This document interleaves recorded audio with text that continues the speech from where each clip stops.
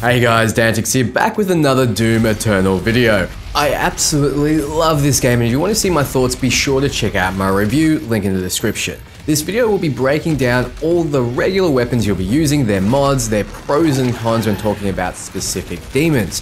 You can't pick a weapon and use it the whole way through Doom Eternal. No, each weapon has a best use, and hopefully by the end of this video, you'll have a good idea of what that is and be on your path to becoming a whirlwind of carnage, which is the most amount of fun you can have in the game. I'll try my best to avoid spoilers, but this video will contain all the weapons you can find, their mods, and list every fodder heavy and super heavy demon, but all the bosses will remain secret.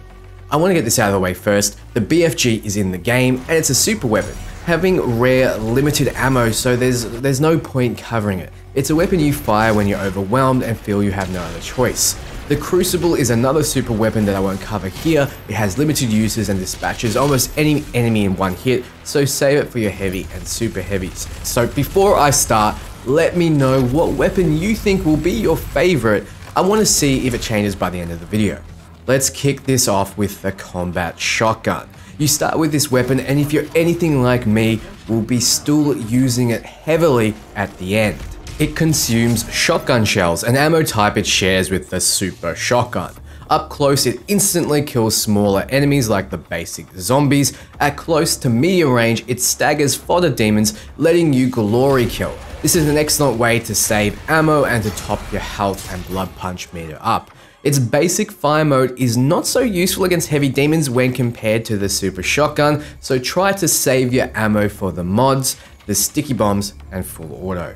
With the sticky bomb mod, holding alt fire then hitting fire will launch a bomb that sticks to a surface or a demon, then explodes after a short time costing 1 ammo. Sticky bombs are my favorite mod out of all the mods in the game. It's also the mod I used most and seemed the most versatile. One hit, one kill against all fodder demons and the fodder in the explosion as well. So lighting a group of demons up with your flame belch, then launching one sticky bomb in the middle only costs you one shotgun shell and will refill your armor. I found the bombs highly effective against the following demons. The Arachnotron, the Mancubus, and the Revenant as one bomb destroys their weak point and further bombs will dispatch them, especially when you mastered the Sticky Bombs mod and can fire 5 per reload. The bombs are also your go-to for taking out Cacodemons as when aimed at their mouth will cause them to swallow the bombs, staggering them and setting them up for a glory kill.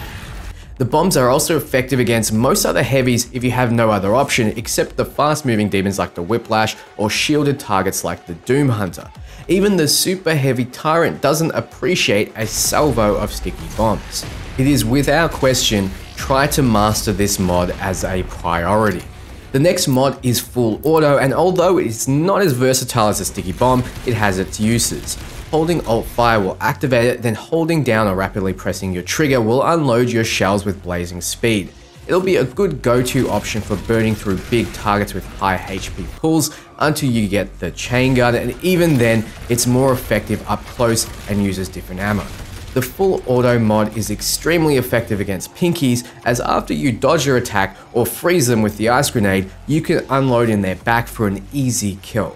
It's also good against demons that chase you down like the Howl and Dread Knight and can burn through the super heavies and the Mancubus if you have no other option.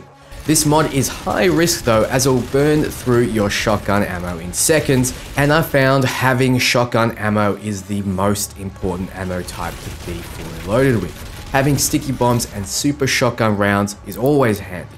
Don't upgrade this mod until you absolutely have to, or if you chose to ignore sticky bombs. If so, max it and go for the mastery, which will let you use it for longer, counteracting its downside. The next gun you'll unlock is the Heavy Cannon. It uses bullets, an ammo type it shares with the minigun. This is your longer range option, able to continuously fire on demons without requiring you to get up close. It's good at targeting weak points and, with its mod, Precision Bolt, even more so.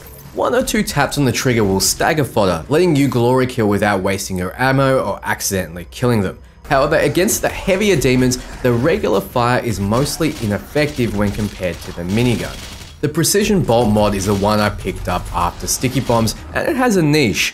By holding down Alt Fire, you zoom in, and when you fire will consume 6 rounds to deal high damage at a long range. When you get good enough, this will be your go-to weak point destroyer. It turns your cannon into a sniper, and in a lot of fights, you'll be able to pick off key demon weak points from max range, keeping you safe to deal with what's closest to you.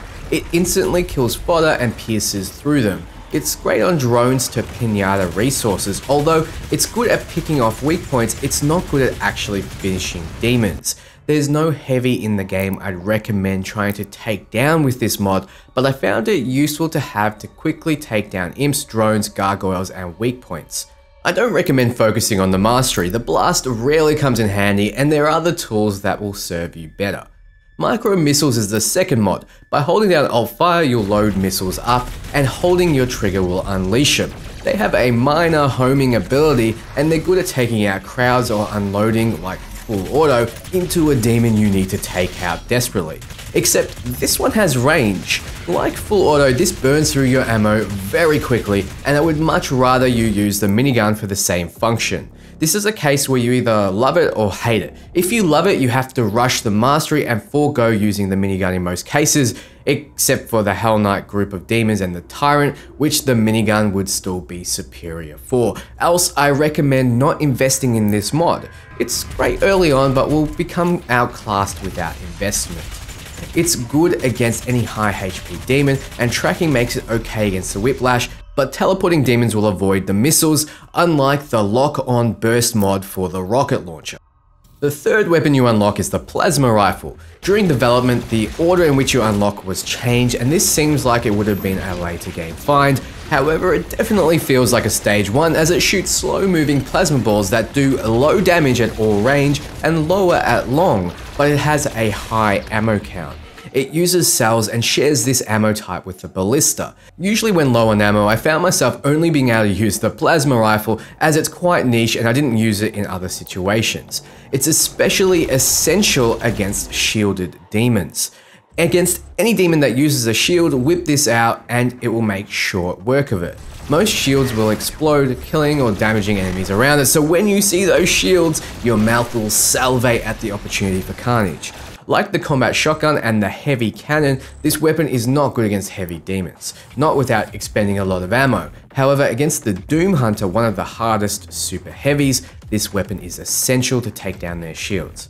The first mod, Heat Blast, makes it so your plasma bullets store up heat and you can release it by pressing alternate fire, creating a shock blast in front of you at short range. This will instantly clear out fodder and deal a surprising amount to heavy demons. I found this on the Whiplash and other faster, lower health heavies usually set them up for a glory kill if they'd sustained some damage prior. It can be a great oh shit button, so having this mod equipped on the plasma rifle is preferred over the microwave.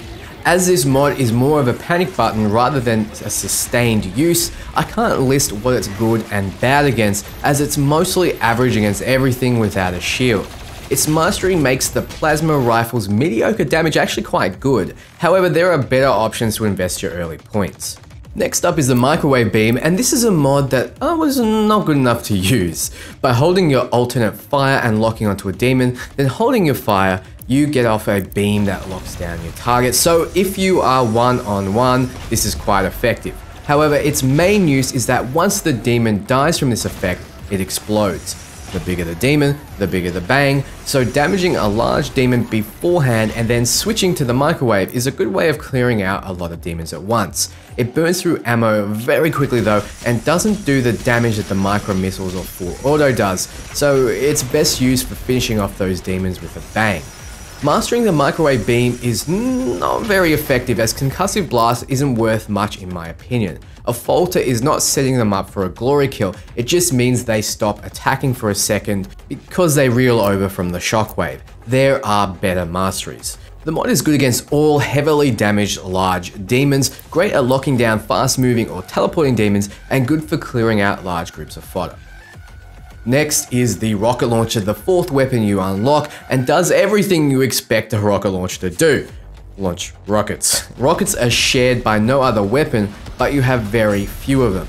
They deal high damage in a large area of effect, but they also damage you, so be careful. This is the first weapon you get that's great against heavy demons and fodder alike with its normal fire, and it's only ineffective against fast moving targets or targets that dodge, like the Arachnotron, who will, if they see it coming, jump out of the way of incoming rockets. That is, unless you use the lock-on burst or remote detonate, which both counteract this. The rocket launcher is a big ticket weapon, so use it effectively. The first mod is Remote Detonate. By pressing Alt Fire, you can detonate a rocket before it hits something in order to give you more control.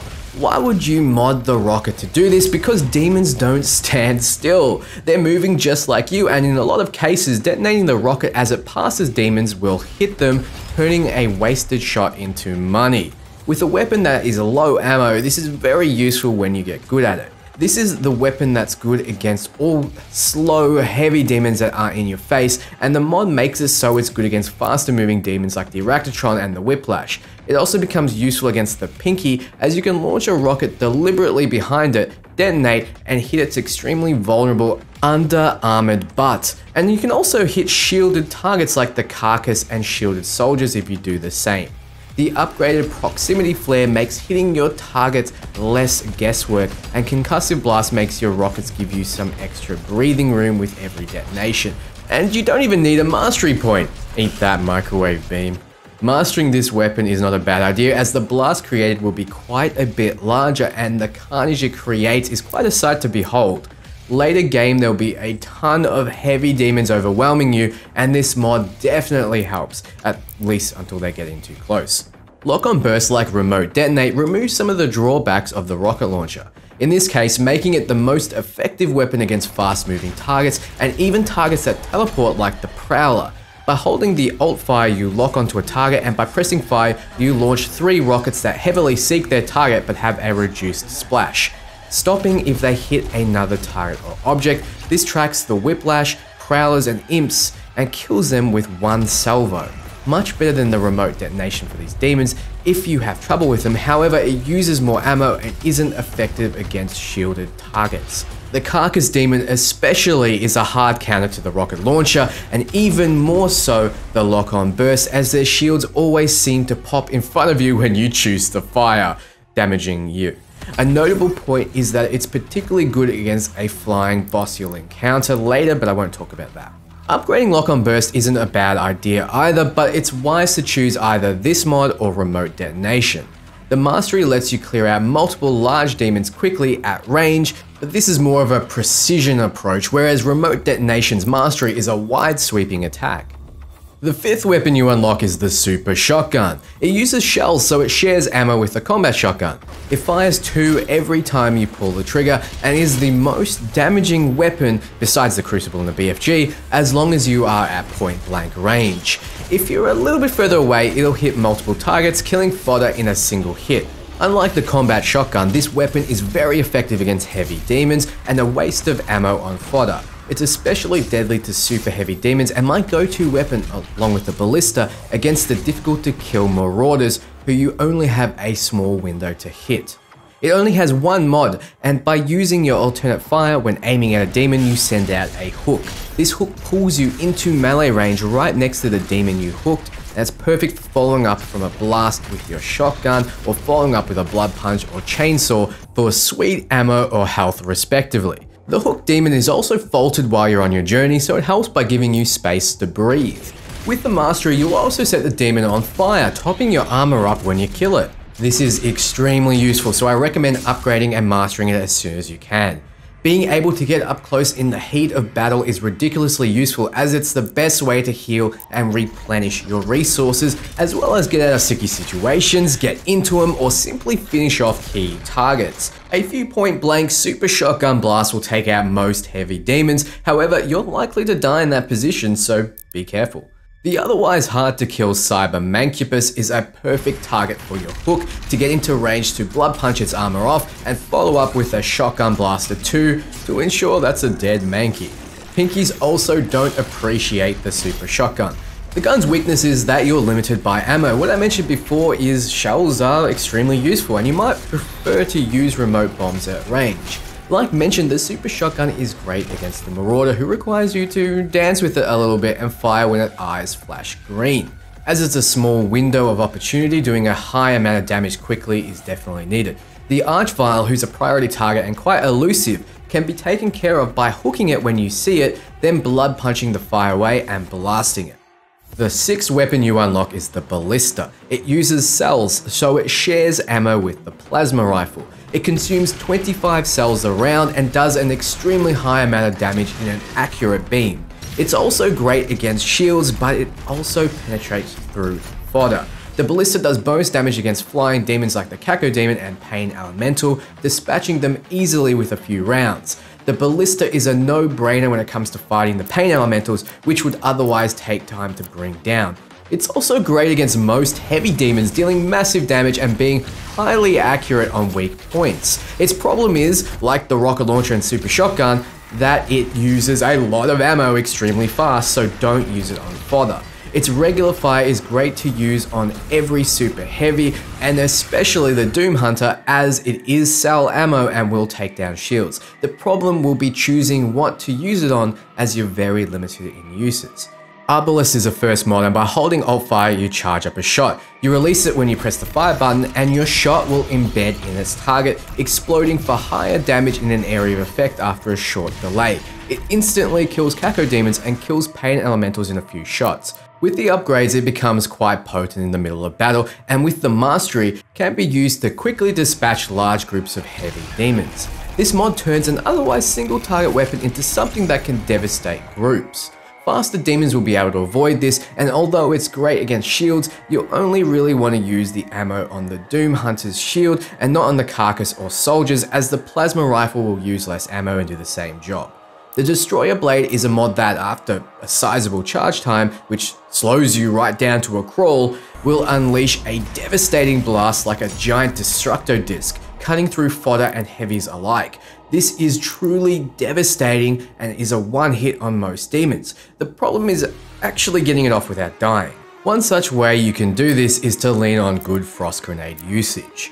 However, most of the time you'll have to absorb some incoming fire. The mastery really isn't needed but can be very useful for targeted strikes on key targets as the charge time is significantly less. I wouldn't recommend upgrading both mods though. The Destroyer Blade is good against most large demons but a waste on smaller ones, just watch your ammo. The last weapon you unlock before the BFG and the Crucible, which are basically one hit kill weapons with rare ammo, is the Chain Gun.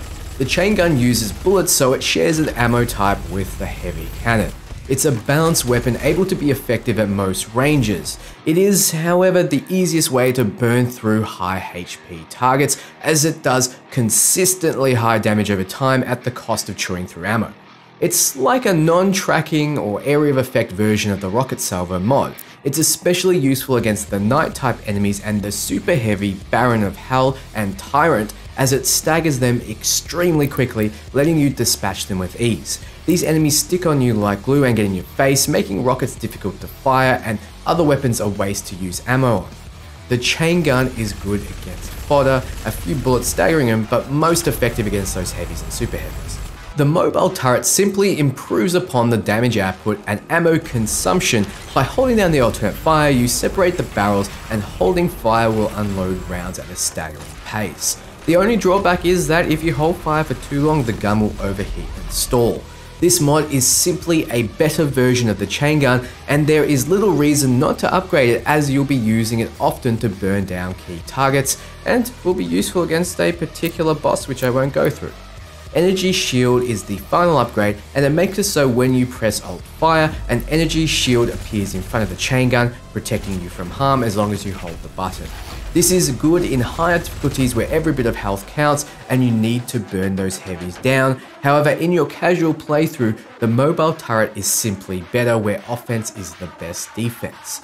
Even the mastery is tailored towards higher difficulties as falters count for more. So those were all the weapons and mods. As you can see, they all have a use in game and don't be surprised if you switch between them often in the heat of battle. If I haven't mentioned a demon by name, it's probably because multiple weapons are effective against them, or a blood punch, frag, or frost grenades help set them up for a kill. Visit the codex for more information. So after hearing and seeing everything there is to know about weapons in Doom, have you changed your mind on a favorite weapon? Thanks for watching guys. If you like this video, feel free to comment, subscribe, and hit that bell button. It helps a lot. Be sure to keep your eyes peeled to Slash Dantics for more. Until next time, bye friends.